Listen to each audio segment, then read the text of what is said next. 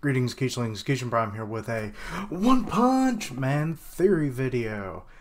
Kind of a discussion, but more on the theory side of things. Um, it's been more than a week ago, not long after the most recent chapter dropped, and I thought, hmm, because uh, in Grim Reaper's Discord, link down below, uh, they discuss One Punch Man a lot because it's the main draw to the Discord channel or server and I decided, oh, I'll throw my hat into the ring because, like, ever since Orochi's fight with Saitama, I've been thinking he is not dead. Now, be it this theory video is going to branch off into a couple different things, so just bear with me. Um, the first is, is Orochi dead? I don't think so, because that is a lot of potential for a character that, you know, is new to the webcomics, so nobody can say, oh, well, he's going to do this, he's going to do that. It's like, we don't know. He's original, so. And then for him to just be off that, you know, in one of the two or three fights that he's had in the whole series, that kind of sucks. I mean, it's the normal way of fighting Saitama is that you're off as soon as you fight him, but, you know, there's been a few exceptions. Um, but first, when it comes to this, I'm thinking, okay, the one thing that pivots that he's not dead is the fact that Gyoro sent one of his, her, I've heard both pronouns thrown around, um, little spy bugs. And it kind of questioned, it was like, he's dead? you know, in a questioning tone, so they can't even say. Now, be it if the bugs are, you know, telepathic or anything, we don't really know, but presumably they're linked directly to Gyoro Gyoro, so I would assume they probably are, and if you can, or if they do, then they can probably read if he has any brain signature. And if you're still questioning that with that capability, then the chances of him still being alive are still there. Um, now, the other train of thought and well, well, let me finish up this first. Um, I think he'll either regenerate or recombinate in some form or fashion, because like regeneration with like snake-like creatures is a a thing. Like they're shedding their skin, or with lizards, like they can regrow their tails, and you know, dragons being magical. Like all of these reptilian qualities, Orochi has. So it wouldn't surprise me if he can regenerate his body or something, and then he become he gets a power boost, like a Zenkai boost, like the Saiyans. And that's kind of that first branch. The next branch is Orochi's legacy. Should he turn up dead? Like with all the other fights that Saitama has ever had, you know, one punch and viscera everywhere. Now, where did all of the viscerated pieces of Orochi fall? They're still in the Monster Association. And what is wandering about all around? A bunch of monsters. And given like the the biologies of each individual monster is a total mystery to anybody. So, who's to say one of these monsters doesn't find a piece of Orochi not knowing it's Orochi, not even knowing what's happened at all, and thinks, oh, free meal. So then they eat him, or that piece of him.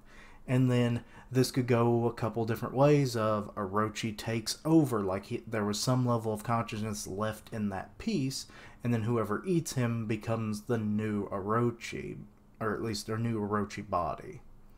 Or they consume his flesh and then they become the new Orochi in terms of like they'll become the new Monster King because they gained all of his latent power and whatnot, and then added it to their own, and then they can become a monster cell producer as well. And then Gyoro Gyoro just uses them like he she did Orochi.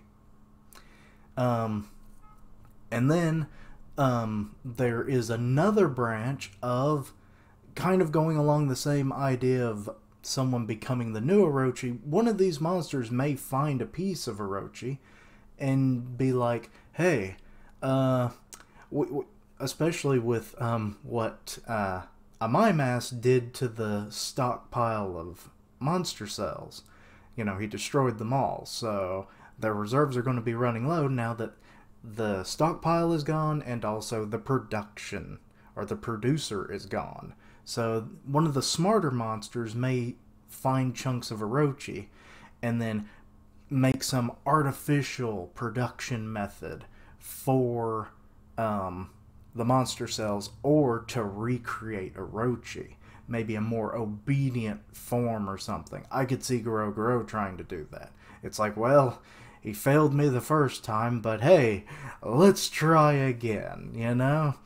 I mean, he said that Orochi isn't like the first monster he's ever done this with, so using a Orochi, the most successful version, and then making a new one, not out of the realm of possibilities.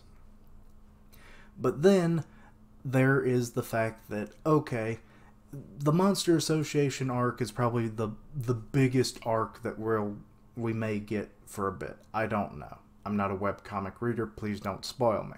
But considering that monsters are the main antagonist of this whole franchise, it seems not too insane to say that there may be a Neo Monster Association later down the line, maybe using the things I've already discussed, where they have uh, use pieces of Orochi to make a new method of producing monster cells, creating more monster threats for the series to come and beyond, or that they recreate Orochi in some form or fashion, like Frankenstein, you know, just piecework him with a bunch of other monster parts or something, you know, and then creating a new Orochi, a Neo Orochi.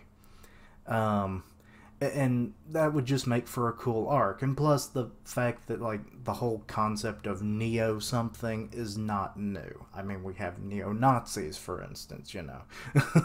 The nazis came back the monsters can come back. Plus they do have well wait i'm thinking of the Vinsmokes never mind. Um but yeah. The uh well they're kind of not eh, they came back too. They just didn't call themselves neo. But neo just means new and then you just attach that onto whatever old organizations that you have. So a neo monster organization becoming the future threat and continued threat of like continuing the work of the original monster association or maybe they like branch off from the monster association after its eventual defeat and like the survivors start cultivating new powerful monsters to become new threats in the future. I don't know. Um, but yeah, these are just kind of some of the ideas I had popping around in my head for a week or two. So uh, let me know what you think. Um, these are mostly just expanded ideas of things I said in the Discord. So some people who may be watching this are from the Discord and know what I'm already had said. So yeah. But anyway, uh, let me know what you thought. Um, anything that you've thought about what would happen to Orochi if he turns up dead, or is there a legacy to be had should he be dead, and then what comes of it for the Monster Association? Let me know down below. And uh, yeah, uh, thank you for watching. I stream on Twitch three days a week Tuesdays, Thursdays, Saturdays. Upload to YouTube the next day in that cycle. And yeah, also sometime this weekend on my channel Griever and I will be doing our manga podcast, so stay tuned for that. You know, the follow me on Twitter so that you know when we're going live. And going live for anything and to keep up with when I post stuff, all that. And yeah, thank you for watching. Like, comment, and subscribe. Um, follow me on all these links down below. And until next time, Keisha Links, roll out!